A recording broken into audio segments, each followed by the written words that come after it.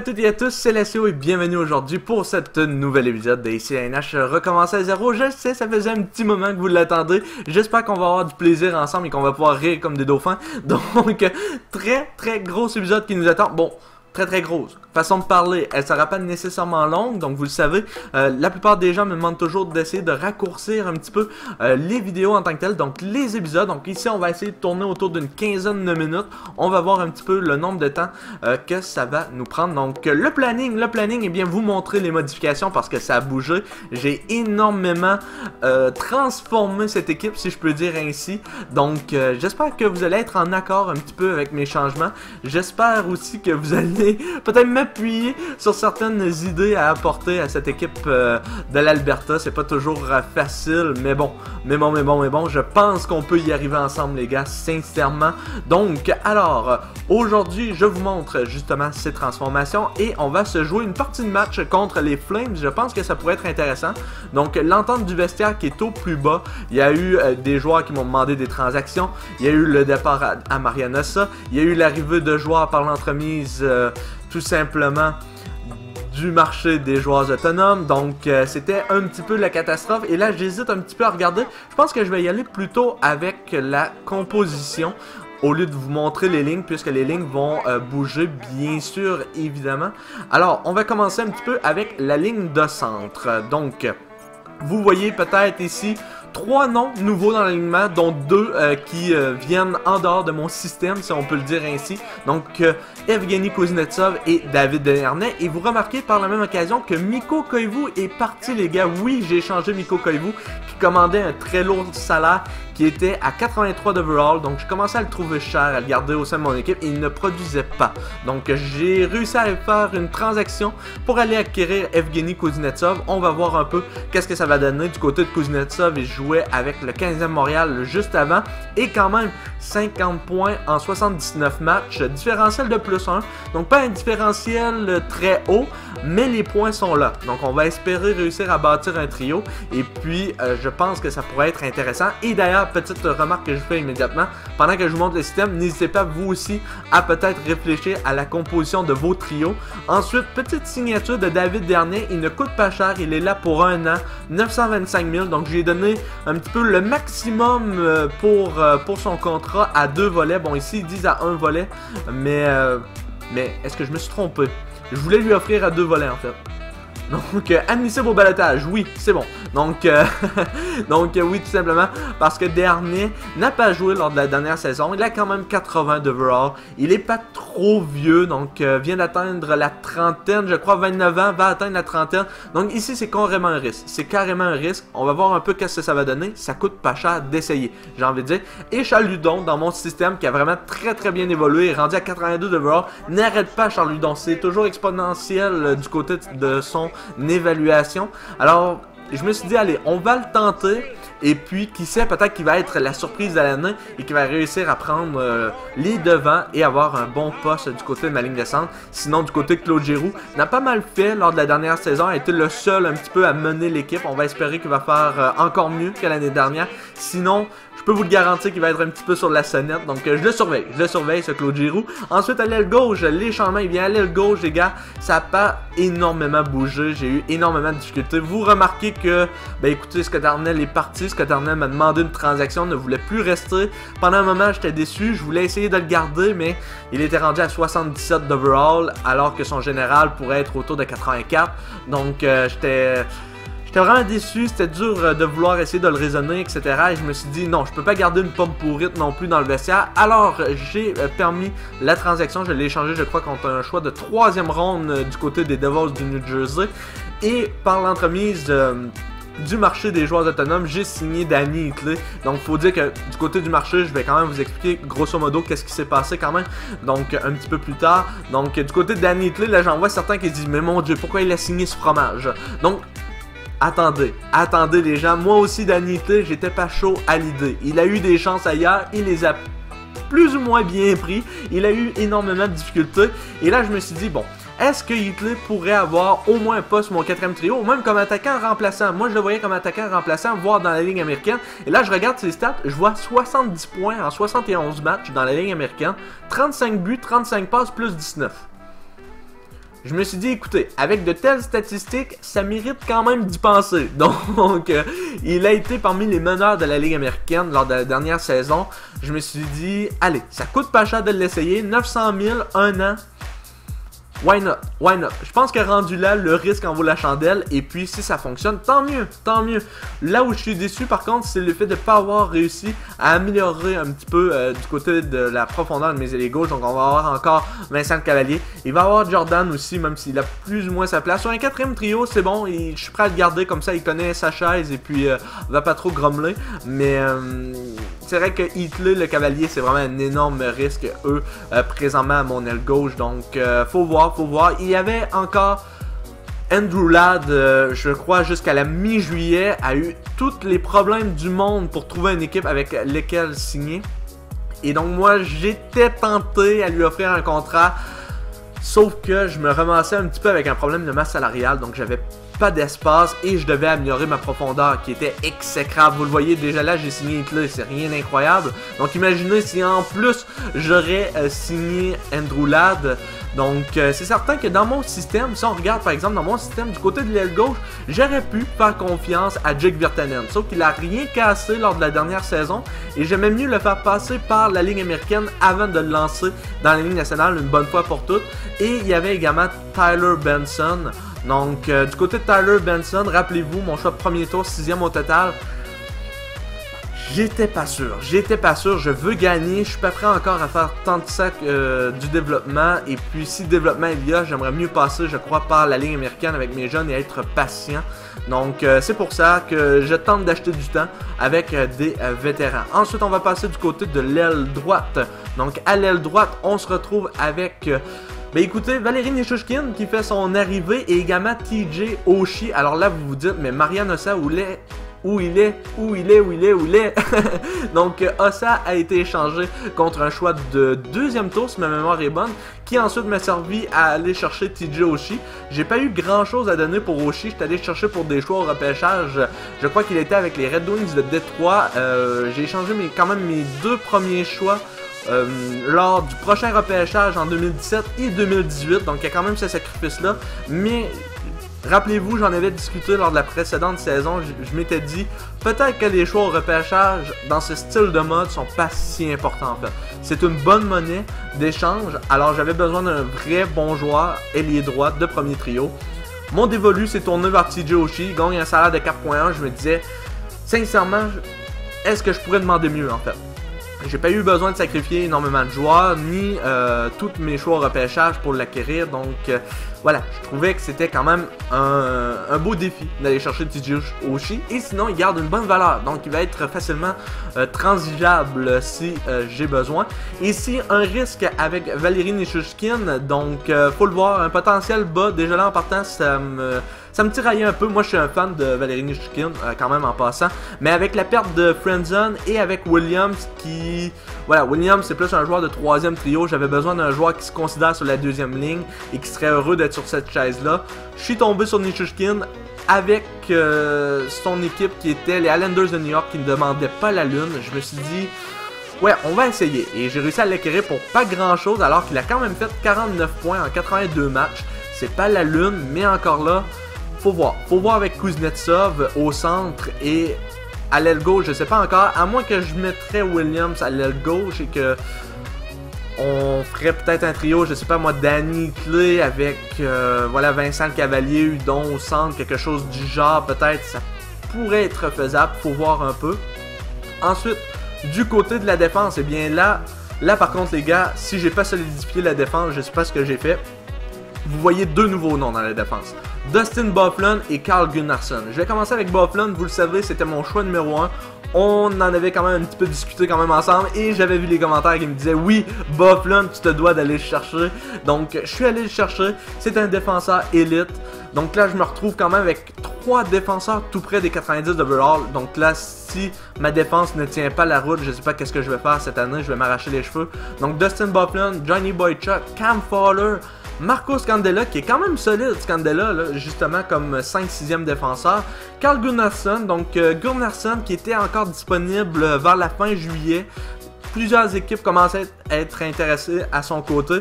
Au départ, demandait 2,2 millions, mais avec tout l'intérêt, je pensais que, un petit peu comme les anciens NHL, plus l'été avance, plus ils vont demander moins d'argent pendant euh, la poursuite de l'été. Et là, c'était pas le cas pour tout le monde.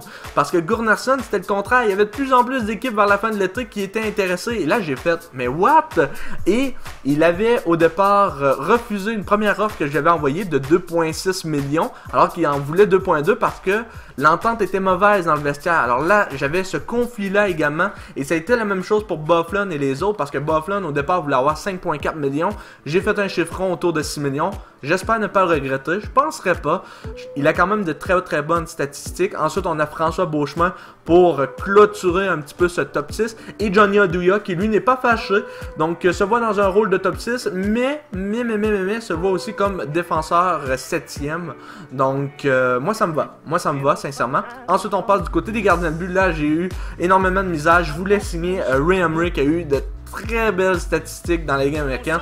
Je lui ai fait une offre d'1.5 million. Il l'a refusé parce que l'entente n'était pas bonne, voulait avoir de l'argent. Sauf que tout de suite, le moment où j'étais prêt à lui en rajouter, il y a eu une équipe qui euh, a soumis, je sais pas, peut-être un contrat un petit peu plus haut que moi et il a immédiatement accepté cette autre offre. Donc euh, ensuite, il restait Anders Lindback et euh, Michael Layton je refusais de signer un de ces deux gardiens, sincèrement.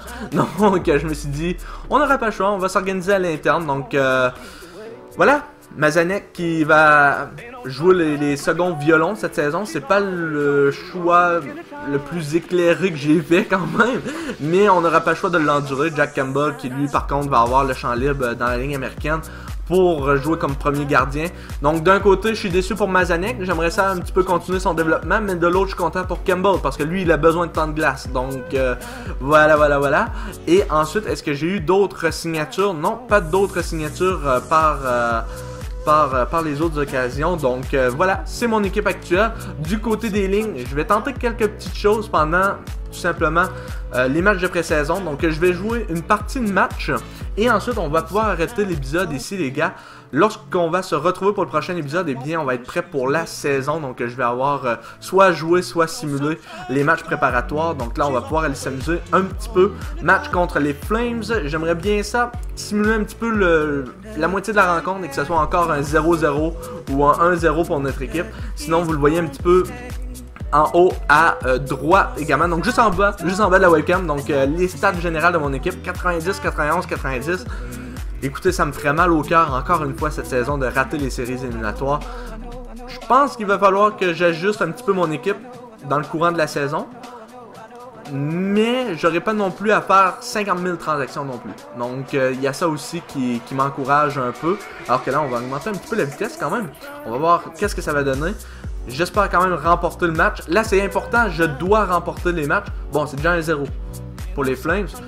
Donc euh, oui, effectivement, je dois remporter les matchs parce que si je remporte les matchs, eh bien, ça va remonter l'entente dans le vestiaire. Tout le monde va bien s'entendre. Il va y avoir une bonne... Euh, comment je dire, une bonne chimie d'équipe qui va se créer et euh, j'espère pouvoir aligner quelques victoires alors que là c'est déjà 2 à 0 pour les Flames.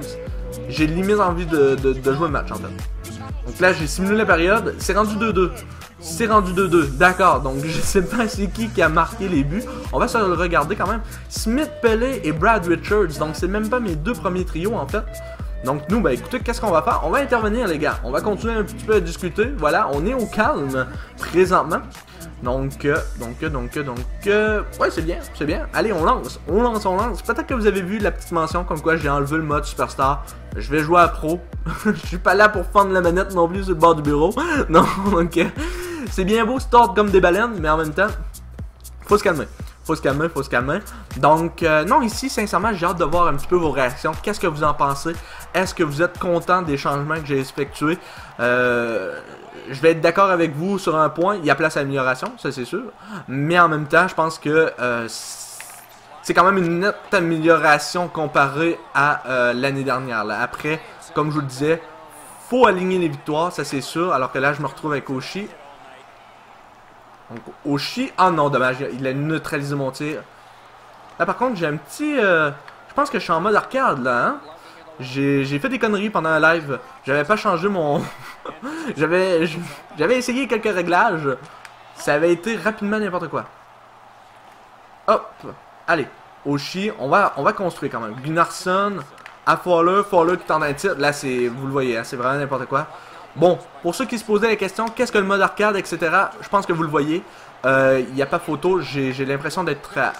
Ben, écoutez, je retrouve limite, limite, limite, limite, un petit peu les mêmes sensations que dans NHL 14 sur euh, l'ancienne génération, donc euh, Xbox 360, PlayStation 3.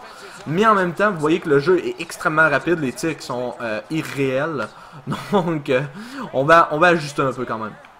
Sinon, c'est vrai, j'avais regardé aussi, du côté des Panthers, ils ont Jordan et Burley, qui n'est pas très heureux, je pense, en Floride. Lui aussi, j'avais tenté peut-être la, transaction. Ouais, c'est moi, il a, touché le poteau. Dommage, dommage, dommage, dommage. Donc, euh, oui, il y avait également Jordan et Burley aussi que je me posais la question. Je me disais, ah, est-ce que je devrais tenter quelque chose avec Burley? Ça n'a pas fonctionné finalement. D'où, d'où, d'où, la raison que vous voyez Nishushkin en fait. Parce que euh, au final, je me suis, euh, je me suis remis sur Nishushkin pour prendre le rôle et également TJ Oshi. Donc, euh... merde, je, je, fais n'importe quoi. Je fais n'importe, je joue à pro et je me fais quand même rentrer un but. Donc c'est un petit peu, c'est un petit peu le malaise. C'est un petit peu le malaise. Le cavalier tire beaucoup trop haut. Allez. Juste, juste un petit but, j'aurais aimé quand même. Bon, après, c'est vrai que j'ai appris à mal jouer, en fait. Allez, là, on, va chercher la pierre. Je, je sais pas c'est quoi cette équipe euh, des Flames, mais il y a moyen quand même. Il y a moyen de bourrer, il y a moyen de, marquer des buts. Ah, dommage. Euh, Hitler qui s'est fait dire euh, bonjour, bienvenue, à la prochaine. Soderberg ici, Agaliev. La Bufflon, je pensais qu'elle allait avoir un joueur ici avec les récents changements. Ça n'a pas été le cas. Donc on va aller chercher leur jeu, il a, pas, y a, pas, y a pas de souci. On, va recommencer un petit peu. On commence avec Brad Richards. Les joueurs qui sont déjà fatigués, ça c'est pas une très très bonne nouvelle. Donc Fowler. Fowler à Smith Pelé qui laisse pour Caron? Caron qui déborde. Ah, je voulais tenter de la passe. Vous l'avez tous vu, je pense, il y avait l'option. Ah, dommage. C'était bien, c'était bien, c'était bien. Donc Smith Pelé pour Bufflin. Ah, dommage. Bufflin qui était pas du bon côté ici pour pouvoir euh, soit un tir frappé, même se positionner. Donc, euh, c'était un petit peu le malaise. Allez, on recommence. Avec Bufflin, on laisse à Kuznetsov. C'est vrai que j'ai regardé également du côté de... Il y a un autre russe également que, que j'avais dans, dans, le collimateur euh, du côté de, de, mes regards. Je pense que c'était Vladislav Namesnikov. Euh, on cherchait à l'échanger, je me souviens plus quelle équipe. Mais euh, j'avais hésité également du côté de, de Nemesnikov. Williams, il tente un petit tir ici. Ah, dommage. Je pense pas que c'était moi qui avait la rondelle. Je pense qu'on était bloqué. Ah, là, je vais avoir un petit deux minutes des familles. Si au moins je pourrais réussir à égaliser. Hum, hum, hum. Bon, j'ai réussi à retrouver le rythme quand même. c'est sûr que c'est pas toujours évident lorsque tu joues pas pendant limite un mois et puis ensuite tu reviens et tu t'attends à marquer 4 euh, buts, euh, dont un que tu pourrais faire limite en highlight. Donc là, Richard. Ah, Richard, il y a moyen là. Ah non, dommage. J'ai essayé Varoshi. Ça n'a pas fonctionné. Par contre, les tirs sont quand même abusés. Là, au moins, le patin, je commence à... Je commence à m'habituer un petit peu. Ah non, ça par contre, c'était dégueulasse. Bon, après, je tente des avantages numériques, donc ça peut aller. Parce que sinon, je me dis, Ranta, sincèrement, il y a moyen de, le percer, je peux pas croire. C'est pas... J'ai pas Carey Price là, de l'autre côté, du côté des Flames. Ils avaient eux aussi connu, je pense, une dure saison. Donc c'est pour ça que je me dis, hmm, il y a moyen d'en profiter, je pense. Donc c'est certain que du côté des matchs préparatoires, dites-moi un petit peu, vous, de votre côté, est-ce que ça vous dérange si je joue euh, quelques matchs? Est-ce que je les joue tous? Est-ce que je les simule, etc. Donc, euh, moi j'aimerais bien essayer de remonter un petit peu l'entente dans le vestiaire. Et c'est pour ça que pour cette raison... Ah, dommage, dommage, dommage. Il y avait tellement un beau jeu ici. Donc là... Ah, dommage. Avec euh, Oshi, sincèrement, j'étais tout feu, là. Là, j'étais le feu. Ça n'a pas marché. Soderberg, qui rejette la rondelle. C'est repris par euh, Boychuk. Et là, bof, là. Allez, le changement, c'est maintenant. Donc, euh, Evander King. Et là, ça... Ouais, ça coupe, ça coupe, ça coupe, ça coupe le centre, etc. Ça bloque des tirs aussi. Ah, mais non, mais ça bloque pas tout par contre, parce que Claude Giroux était à la bonne place au bon moment. C'est 3 à 3. Voilà, bon, un but, ma foi, dégueulasse, mais on va le prendre. Donc, euh, allez, on continue. Faut bourrer. Faut bourrer. Kuznetsov, euh, donc c'est le deuxième trio qui embarque. C'est seulement ce deuxième trio, il a un certain potentiel, mais là, par contre, je fais la merde. J'ai déjà perdu la rondelle comme ça. Donc, je dois faire attention. Donc, euh, oui, ce deuxième trio qui a un potentiel, mais... Oh! Oh! Oh! La vision, les gars, la vision œil de lynx. œil de lynx, Kuznetsov qui avait le compas dans l'œil. Ce jeu de Nishushkin, comment il a foncé comme une balle au filet. Waouh! c'était... Ça, c'était beau, ça, par contre. Ça, c'était vraiment beau. Donc, euh, j'étais pas certain. C'est surtout Williams, en fait, qui, euh, me fait douter euh, du côté... Du côté, du côté, du côté de ce deuxième trio. Mais après, qui que je pourrais bien mettre? Moi, j'aimerais bien retrouver un style de joueur à la Scott Arnell, mais c'est difficile à trouver, en fait. C'est pour ça que j'aimais tant Scott Arnell, en fait. Parce qu'il est difficile à trouver. Donc, là, par contre, Kuznetsov dans le filet. Allez, oui, euh, sort, le filet, un coup parti. Donc, écoute, on va essayer de gagner la mise en jeu avec Charles Ludon, Danny Clay, Vincent Cavalier. Ça, en fait, ça pourrait... Ouais. Je partais pour dire, ça pourrait être limite être un beau trio. Mais il y a tellement d'impondérables que c'est dur à juger. Par exemple, le cavalier a rien foutu. Est-ce qu'il va faire quelque chose cette année? Je suis pas convaincu. Donc c'est vraiment du côté de Udon et de Hitler à euh, apporter un petit vent de fraîcheur. Donc là, Fowler à Bufflin. Bufflin a un bon tir ici. On tente, hein? On tente avec Bufflin. On connaît son tir. Même chose du côté de Fowler, remarque. Je pourrais autant tenter avec Fowler. Fowler qui avait eu une saison correcte, mais c'est ça. Là, avec Hitler, pas beaucoup d'aide ici. On hésite, on hésite, on hésite. On... Ah, merde. Je m'attendais pas qu'elle allait être là, lui. Oshi, c'était difficile un peu. Galiev. Galiev, un ancien des, des Sea Dogs euh, de Saint John dans, dans la LHGMQ. La Giroud vite. Dommage. Donc, euh, oui, effectivement. Petite information comme ça, euh, je la lance assez souvent, je pense, en plus, Galiev. Donc, Fowler, Aoshi. Même Aoshi, en fait, si je pourrais marquer... Ah oui, relève. J'ai tenté la passe. Là, par contre, j'aimerais ça qu'Hitler... Euh... J'ai rien contre Hitler, hein, je vous l'ai dit. Wow, la mise en échec quand... Le jour qu'Hitler aurait fait ça dans la ligne nationale... T'es un gros bonhomme, quand même, Hitler. Quand on y pense. Bon, allez, c'est reparti. Ouf! Laser shot, laser shot de TJ Oshie. Non, sincèrement, le mode arcade, c'est quand même cheaté du côté des tirs. Va falloir se calmer un petit peu ça. Écoutez les gars, je pense que du côté du dopage, si vous aviez des doutes, dans ces NHL, il y a possibilité quand même.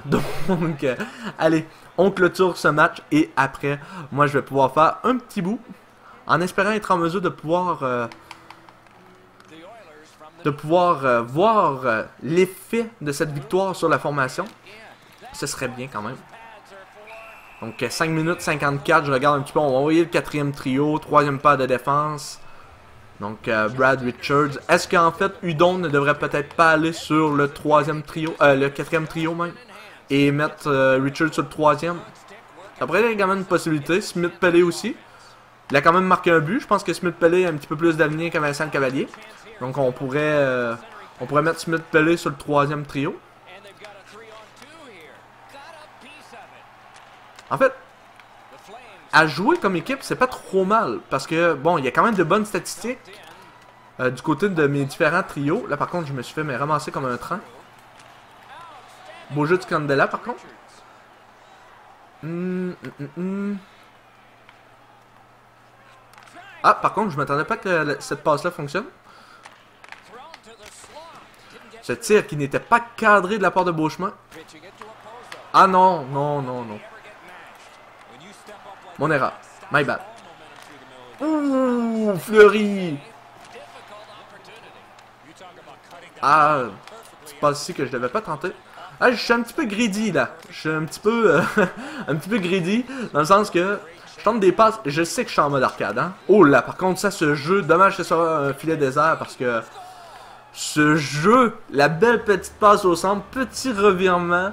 Voilà TJ aussi, c'est le genre de jeu qu'on aime voir également dans, dans la Ligue nationale.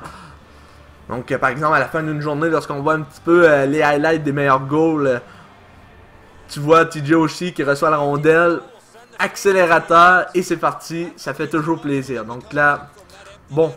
Après, j'aurais été, je dirais pas surpris, mais j'aurais été déçu de moi-même si j'aurais perdu cette rencontre. Déjà que j'ai accordé un but. Mais ça fait plaisir quand même. Kuznetsov. Là, c'est Williams. Boychuk, à Gunnarsson, à Boychuk, à Gunnarsson, tir frappé. on tricot là. Là on tricot un peu. Galiev. Là je me demande par contre quel genre d'équipe qu'ils ont du côté des Flames parce que j'ai pas j'ai pas vu de gros noms. Donc euh, je sais que c'est la, pré-saison, mais faudrait peut-être pas déconner non plus. Normalement dans NHL, euh, oh, petit jeu ici, voilà, je l'ai dit que j'allais tricoter. Bon après, tu tricotes, tu tricotes, mais faudrait lancer au filet aussi. bon, allez. Petite victoire ici, ça fait plaisir. J'espère que vous avez apprécié euh, cet épisode, les gars. Donc, euh, j'ai défoncé un peu mon objectif. J'ai fait un épisode autour de 25 minutes, finalement. Donc, allez. Donc, sur ça, encore une fois, j'attends vraiment beaucoup de vos nouvelles par rapport à ce qui va se passer lors, lors, lors, lors, lors, lors, tout simplement de la suite de cette saison. Qu'est-ce que vous pensez de l'équipe actuelle? Est-ce qu'elle a un potentiel? Euh, est-ce que vous aussi vous voyez les mêmes types d'améliorations que moi? Parce que, écoutez, l'entente est à 44%, mais si je vais rapidement dans le moral, pas mal tout le monde a le moral haut. Ah, peut-être pas. D'accord. Donc en milieu d'été, tout le monde avait le moral haut, mais plus là. Donc là, c'est le statu quo. Donc euh, c'est pour ça que, ouais, moral général de l'équipe. Tout le monde a, voilà, statu quo.